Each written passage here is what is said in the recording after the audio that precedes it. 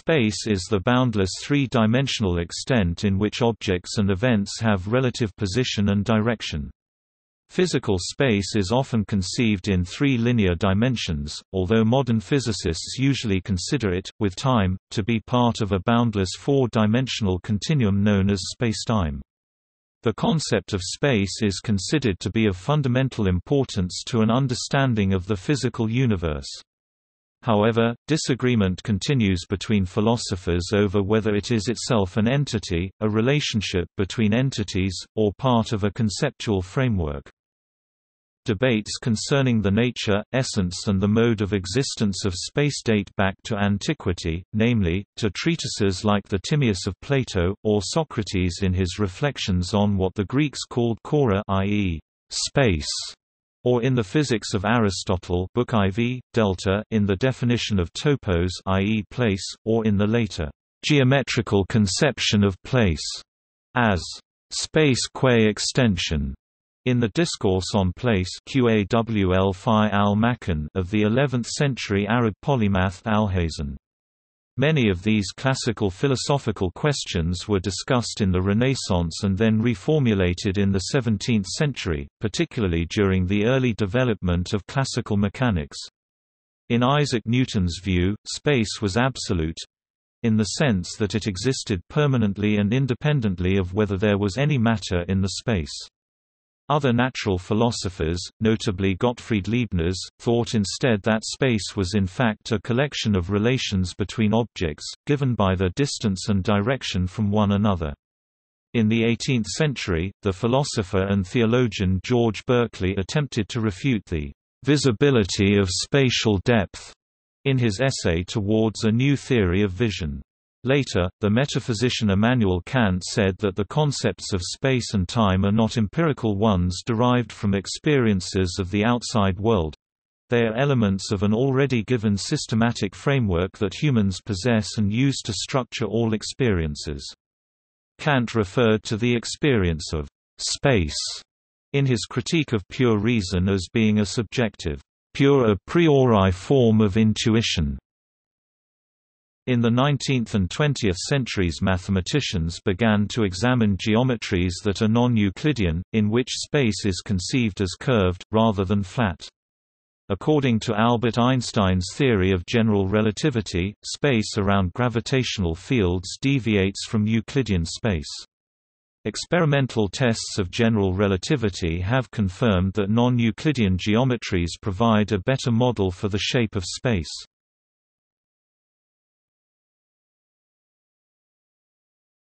Topic: Philosophy of space.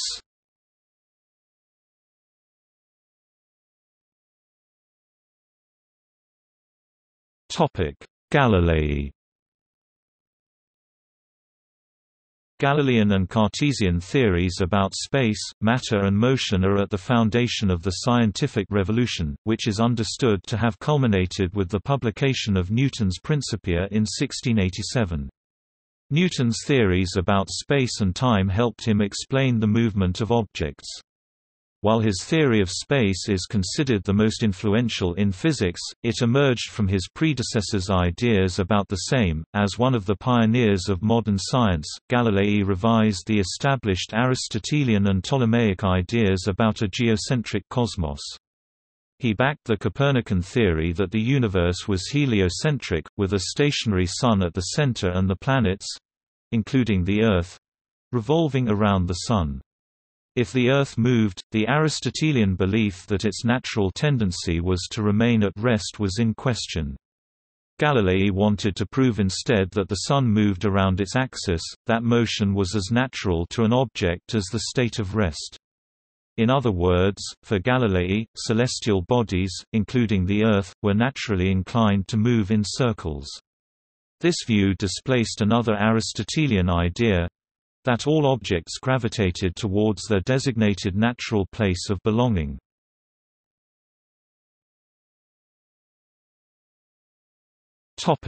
René Descartes Descartes set out to replace the Aristotelian worldview with a theory about space and motion as determined by natural laws. In other words, he sought a metaphysical foundation or a mechanical explanation for his theories about matter and motion. Cartesian space was Euclidean in structure—infinite, uniform and flat. It was defined as that which contained matter. Conversely, matter by definition had a spatial extension so that there was no such thing as empty space. The Cartesian notion of space is closely linked to his theories about the nature of the body, mind, and matter. He is famously known for his cogito ergo sum. I think therefore I am, or the idea that we can only be certain of the fact that we can doubt, and therefore think and therefore exist. His theories belong to the rationalist tradition, which attributes knowledge about the world to our ability to think rather than to our experiences, as the empiricists believe. He posited a clear distinction between the body and mind, which is referred to as the Cartesian dualism.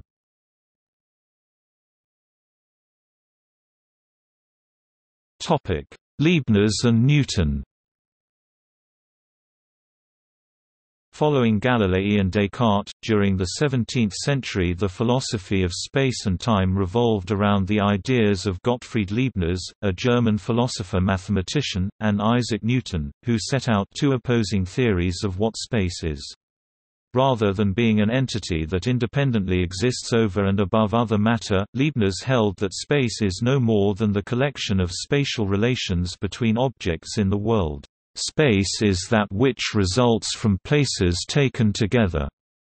Unoccupied regions are those that could have objects in them, and thus spatial relations with other places. For Leibniz, then, space was an idealized abstraction from the relations between individual entities or their possible locations and therefore could not be continuous but must be discrete. Space could be thought of in a similar way to the relations between family members. Although people in the family are related to one another, the relations do not exist independently of the people. Leibniz argued that space could not exist independently of objects in the world because that implies a difference between two universes exactly alike except for the location of the material world in each universe. But since there would be no observational way of telling these universes apart then, according to the identity of indiscernibles, there would be no real difference between them. According to the principle of sufficient reason, any theory of space that implied that there could be these two possible universes must therefore be wrong.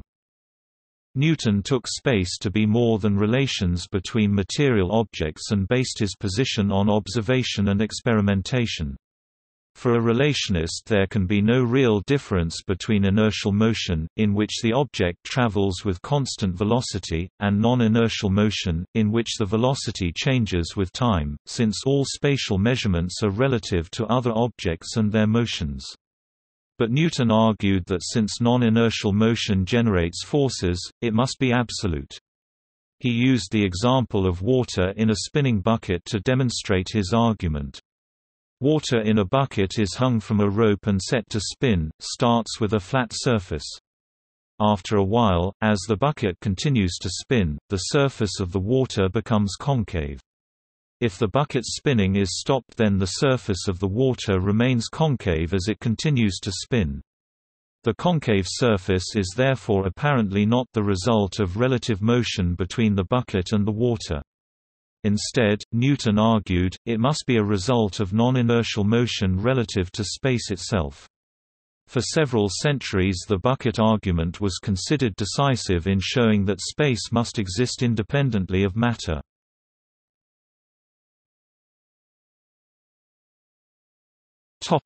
Kant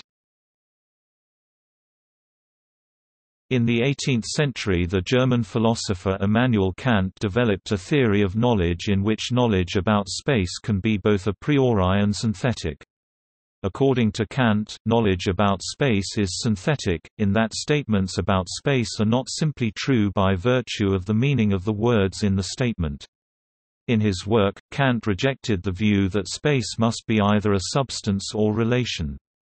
Instead he came to the conclusion that space and time are not discovered by humans to be objective features of the world, but imposed by us as part of a framework for organizing experience.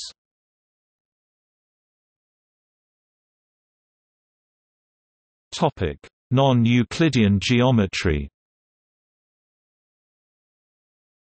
Euclid's Elements contained five postulates that form the basis for Euclidean geometry.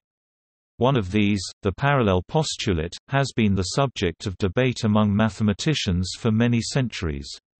It states that on any plane on which there is a straight line L1 and a point P not on L1, there is exactly one straight line L2 on the plane that passes through the point P and is parallel to the straight line L1. Until the 19th century, few doubted the truth of the postulate, instead debate centered over whether it was necessary as an axiom, or whether it was a theory that could be derived from the other axioms. Around 1830 though, the Hungarian Janos Bolyai and the Russian Nikolai Ivanovich Lobachevsky separately published treatises on a type of geometry that does not include the parallel postulate, called hyperbolic geometry. In this geometry, an infinite number of parallel lines pass through the point P. Consequently, the sum of angles in a triangle is less than 180 degrees and the ratio of a circle's circumference to its diameter is greater than pi. In the 1850s, Bernhard Riemann developed an equivalent theory of elliptical geometry, in which no parallel lines pass through P. In this geometry, triangles have more than 180 degrees and circles have a ratio of circumference to diameter that is less than pi.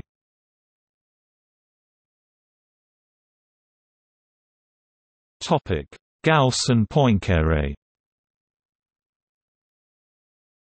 Although there was a prevailing Kantian consensus at the time, once non-Euclidean geometries had been formalized, some began to wonder whether or not physical space is curved. Carl Friedrich Gauss, a German mathematician, was the first to consider an empirical investigation of the geometrical structure of space. He thought of making a test of the sum of the angles of an enormous stellar triangle, and there are reports that he actually carried out a test, on a small scale, by triangulating mountain tops in Germany. Henri Poincaré, a French mathematician and physicist of the late 19th century, introduced an important insight in which he attempted to demonstrate the futility of any attempt to discover which geometry applies to space by experiment. He considered the predicament that would face scientists if they were confined to the surface of an imaginary large sphere with particular properties, known as a sphere world. In this world, the temperature is taken to vary in such a way that all objects expand and contract in similar proportions in different places on the sphere. With a suitable falloff in temperature, if the scientists try to use measuring rods to determine the sum of the angles in a triangle, they can be deceived into thinking that they inhabit a plane, rather than a spherical surface.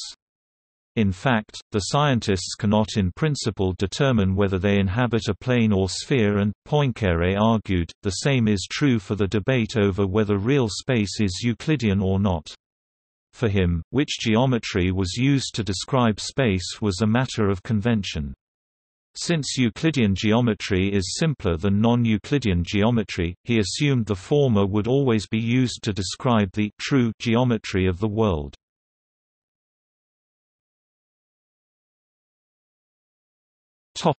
Einstein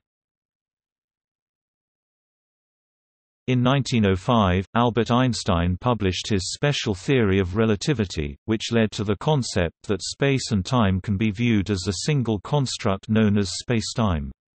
In this theory, the speed of light in a vacuum is the same for all observers, which has the result that two events that appear simultaneous to one particular observer will not be simultaneous to another observer if the observers are moving with respect to one another. Moreover, an observer will measure a moving clock to tick more slowly than one that is stationary with respect to them, and objects are measured to be shortened in the direction that they are moving with respect to the observer. Subsequently, Einstein worked on a general theory of relativity, which is a theory of how gravity interacts with spacetime. Instead of viewing gravity as a force field acting in spacetime, Einstein suggested that it modifies the geometric structure of spacetime itself. According to the general theory, time goes more slowly at places with lower gravitational potentials and rays of light bend in the presence of a gravitational field. Scientists have studied the behavior of binary pulsars, confirming the predictions of Einstein's theories, and non-Euclidean geometry is usually used to describe spacetime.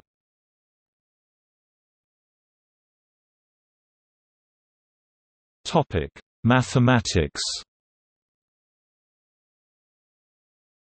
In modern mathematics spaces are defined as sets with some added structure.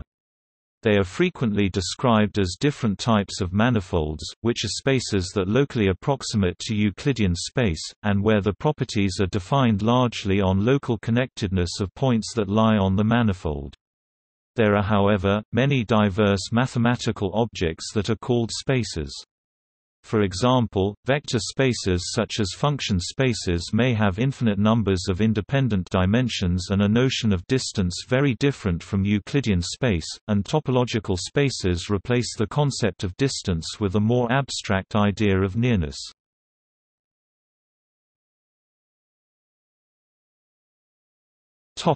Physics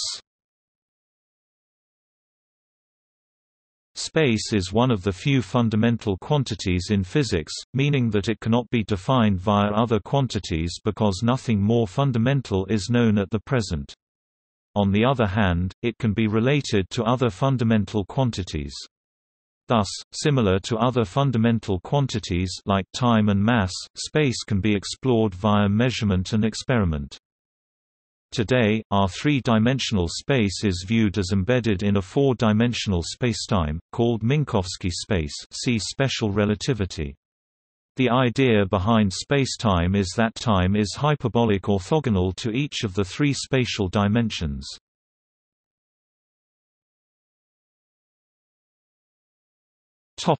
Relativity Before Einstein's work on relativistic physics, time and space were viewed as independent dimensions. Einstein's discoveries showed that due to relativity of motion our space and time can be mathematically combined into one object spacetime. It turns out that distances in space or in time separately are not invariant with respect to Lorentz coordinate transformations, but distances in Minkowski spacetime along spacetime intervals are which justifies the name. In addition, time and space dimensions should not be viewed as exactly equivalent in Minkowski spacetime. One can freely move in space but not in time. Thus, time and space coordinates are treated differently both in special relativity where time is sometimes considered an imaginary coordinate and in general relativity where different signs are assigned to time and space components of spacetime metric. Furthermore, in Einstein's general theory of relativity, it is postulated that spacetime is geometrically distorted, curved, near to gravitationally significant masses. One consequence of this postulate, which follows from the equations of general relativity, is the prediction of moving ripples of spacetime, called gravitational waves. While indirect evidence for these waves has been found in the motions of the Hulse-Taylor binary system, for example experiments attempting to directly measure these waves are ongoing at the LIGO and Virgo collaborations. LIGO scientists reported the first such direct observation of gravitational waves on 14 September 2015.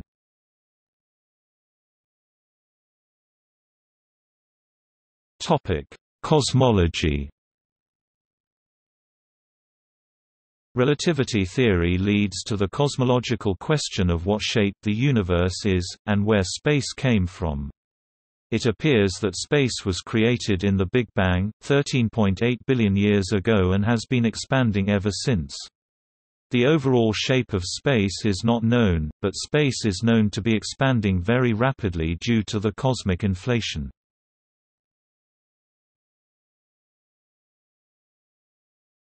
Topic: Spatial measurement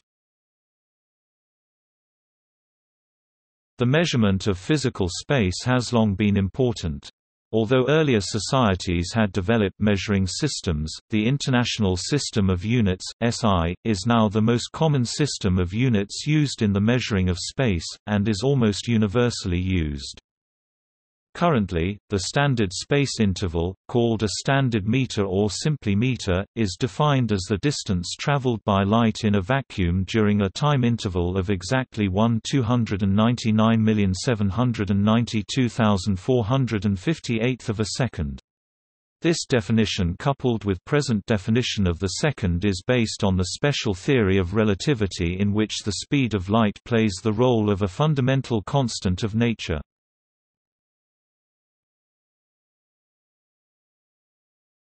Topic: Geographical space.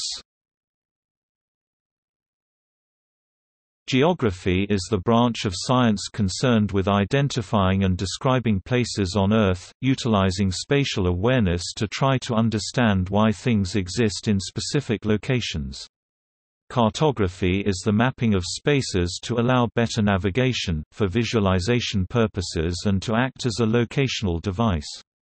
Geostatistics apply statistical concepts to collected spatial data of Earth to create an estimate for unobserved phenomena. Geographical space is often considered as land, and can have a relation to ownership usage in which space is seen as property or territory. While some cultures assert the rights of the individual in terms of ownership, other cultures will identify with a communal approach to land ownership, while still other cultures such as Australian Aboriginals, rather than asserting ownership rights to land, invert the relationship and consider that they are in fact owned by the land. Spatial planning is a method of regulating the use of space at land level, with decisions made at regional, national and international levels. Space can also impact on human and cultural behavior, being an important factor in architecture, where it will impact on the design of buildings and structures, and on farming. Ownership of space is not restricted to land. Ownership of airspace and of waters is decided internationally. Other forms of ownership have been recently asserted to other spaces—for example to the radio bands of the electromagnetic spectrum or to cyberspace. Public space is a term used to define areas of land as collectively owned by the community, and managed in their name by delegated bodies. Such spaces are open to all, while private property is the land culturally owned by an individual or company, for their own use and pleasure. Abstract space is a term used in geography to refer to a hypothetical space characterized by complete homogeneity. When modeling activity or behavior, it is a conceptual tool used to limit extraneous variables such as terrain.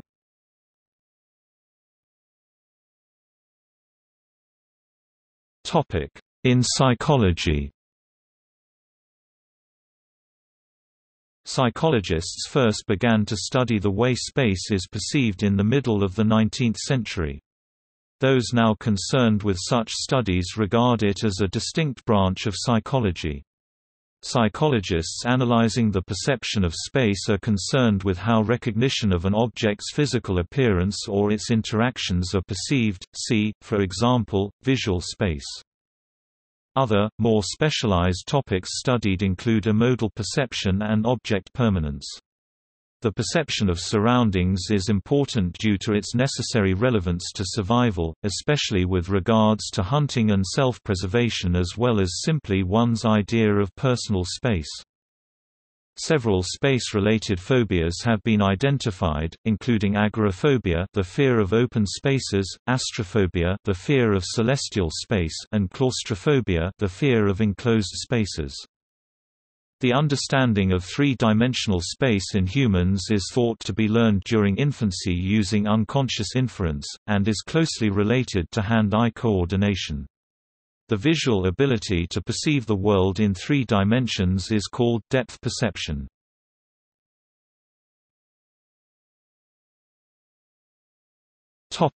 In the social sciences Space has been studied in the social sciences from the perspectives of Marxism, feminism, postmodernism, postcolonialism, urban theory and critical geography. These theories account for the effect of the history of colonialism, transatlantic slavery and globalization on our understanding and experience of space and place. The topic has garnered attention since the 1980s, after the publication of Henri Lefebvre's The Production of Space. In this book, Lefebvre applies Marxist ideas about the production of commodities and accumulation of capital to discuss space as a social product. His focus is on the multiple and overlapping social processes that produce space. In his book The Condition of Postmodernity, David Harvey describes what he terms the time-space compression. This is the effect of technological advances and capitalism on our perception of time, space and distance. Changes in the modes of production and consumption of capital affect and are affected by developments in transportation and technology. These advances create relationships across time and space, new markets and groups of wealthy elites in urban centers, all of which annihilate distances and affect our perception of linearity and distance. In his book Third Space, Edward Soja describes space and spatiality as an integral and neglected aspect of what he calls the trialectics of being, the three modes that determine how we inhabit, experience and understand the world. He argues that critical theories in the humanities and social sciences study the historical and social dimensions of our lived experience, neglecting the spatial dimension. He builds on Henri Lefebvre's work to address the dualistic way in which humans understand space—as either material, physical or as represented, imagined. Lefebvre's lived space and Soja's thrid space are terms that account for the complex ways in which humans understand and navigate place, which first space and second space Soja's terms for material and imagined spaces respectively do not fully encompass. Postcolonial theorist Homi Bhabha's concept of third space is different from Soja's third space, even though both terms offer a way to think outside the terms of a binary logic. Bhabha's third space is the space in which hybrid cultural forms and identities exist. In his theories, the term hybrid describes new cultural forms that emerge through the interaction between colonizer and colonized. See also